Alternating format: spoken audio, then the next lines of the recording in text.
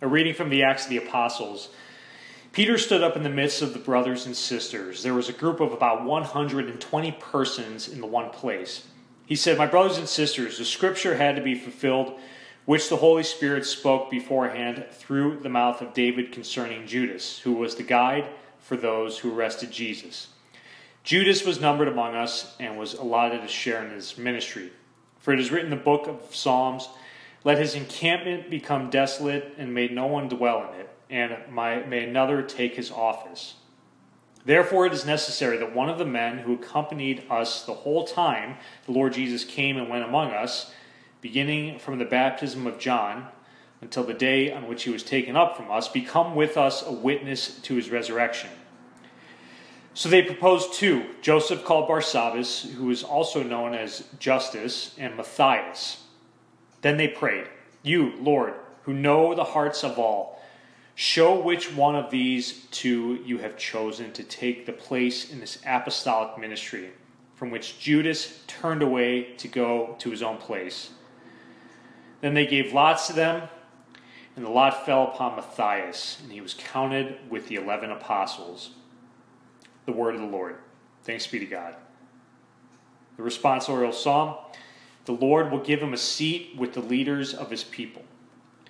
Praise you, servants of the Lord. Praise the name of the Lord. Blessed be the name of the Lord, both now and forever. The Lord will give him a seat with the leaders of his people. From the rising of the sun to its setting is the name of the Lord to be praised. High above all nations is the Lord, above the heavens is his glory. The Lord will give him a seat with the leaders of his people. Who is like the Lord our God, who is enthroned on high and looks upon the heavens and the earth below? The Lord will give him a seat with the leaders of his people. He raises up the lowly from the dust, from the dunghill he lifts up the poor, to seat them with princes, with the princes of his own people. The Lord will give him a seat with the leaders of his people. The Lord be with you, with your spirit. Reading from the Holy Gospel according to John. Glory to you, O Lord. Jesus said to his disciples, As the Father loves me, so I also love you. Remain in my love. If you keep my commandments, you will remain in my love, just as I have kept my Father's commandments and remain in his love. I have told you this so that my joy might be in you and your joy might be complete. This is my commandment love one another as I love you. No one has greater love than this to lay down one's life for one's friends. You are my friends if you do what I command you. I no longer call you slaves because a slave does not know what his master is doing. I have called you friends because I have told you everything I have heard from my Father. It was not you who chose me, but I who chose you and appointed you to go and bear fruit that will remain, so that whatever you ask the Father in my name, he may give you. This I command you love one another. The Gospel of the Lord. Praise to you, Lord Jesus Christ. The feast of Saint Matthias, the apostle chosen to replace Judas. I, I joke sometimes that this is the the feast day of gamblers, the patron uh, saint of gamblers. Now, I don't think he's officially that, but uh, he was chosen by lot.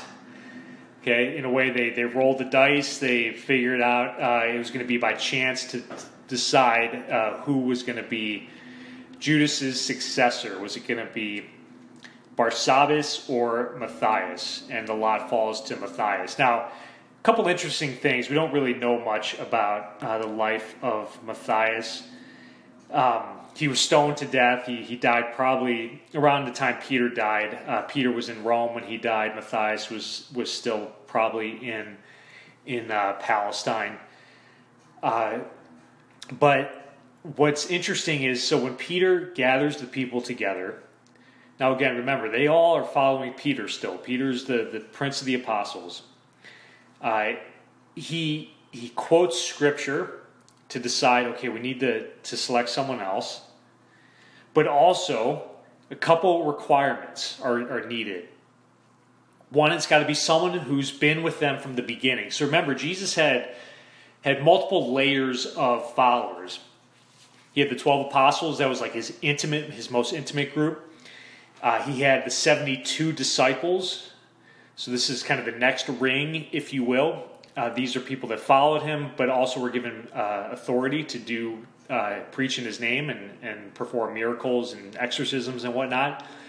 Then you have the larger group of followers, uh, like the 5,000 to 7,000 who uh, recline during the Sermon on the Mount and the, the, the, multiplication of loaves and fishes.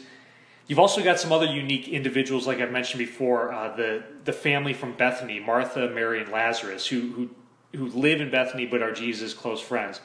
So, anyways, uh, it's got to be someone who's, who's been in one of these groups uh, from the beginning. So, I would imagine that Matthias was part of the 72. Now, remember, when Jesus first names the apostles, right, he prays he's discerning who these who these 12 amongst the, the 72 let's say are going, are going to be and he comes up with the, the 12 names. Uh, so matthias is, is there from the beginning. Now why? Why does matthias why does the successor have to be witnessed everything? Well to be able to one uh, teach and preach what jesus has done. Remember there's no bible there's no new testament in the early church right? The, the bible the new testament is written after the fact. So, how are the stories going to spread? What's the tradition? The oral tradition has got to be from people who are saying what Jesus did and uh, and what he and relaying his message, and also the spirit of Jesus. Because recall, Jesus didn't say everything there need to be said. Right? His word's going to continue on through the mouths of the apostles. Okay, so to really know the heart of Jesus, then, and that's that's also what what Peter says. Okay, um, they have to, Lord. So Peter prays, Lord, know the you know the hearts of all. Show which one of these two you have chosen to take the place in this apostolic ministry from which Judas turned away to go to his own place. So, by the way, that's another important message, or uh, right there. You ever need to make a, a, difficult decision? Pray first, right? So Peter prays first, and then the Holy Spirit will act through this this chance of uh, picking the lots but he knows the heart. The Lord chooses Matthias because he knows Matthias' heart. And it's Matthias' heart that is going to do the Lord's work. Not his mouth, not his legs, not his face, not his hands. Those although all those things are important. The work, the influence, the power is going to come through Matthias' heart. And so too with us. May our hearts, united Jesus Christ, be the instrument of the Father. Amen.